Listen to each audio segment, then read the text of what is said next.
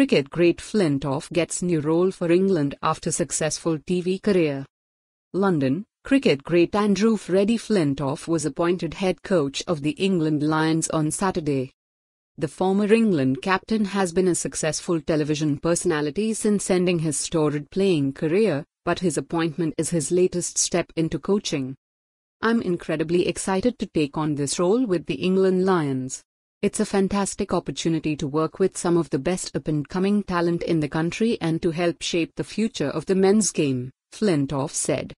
Flintoff has signed up for the winter tours of South Africa and Australia as well as summer fixtures against India and Zimbabwe.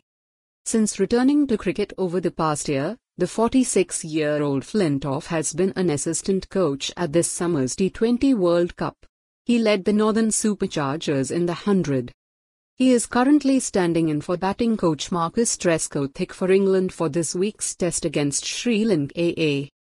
Flintoff, who was an all-rounder, played 79 tests for England and was the 2005 Ashes Player of the Series. In December 2022, Flintoff sustained facial injuries from an accident that occurred during filming for Top Gear at the show's test track in Surrey. The England and Wales Cricket Board said Flintoff was the standout candidate from a pool of high-caliber applicants. Andrew stood out thanks to his inspirational leadership, coaching expertise, and deep understanding of the game, said Ed Barney, the ECB men's performance director. Flintoff begins his role in October and will take charge for the upcoming year. The Lions program helps to develop the next generation of cricket talent. With Andrew's guidance, the highest potential players will continue to develop, thrive and take their game to new levels, Barney said. I'm confident his influence will resonate across English cricket, helping drive the game forward.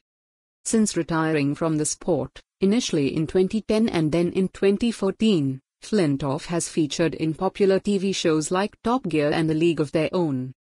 He also had a short-lived attempt at boxing. Cricket, slash hub slash cricket. This article was generated from an automated news agency feed without modifications to text. For more on this story, visit the news article link.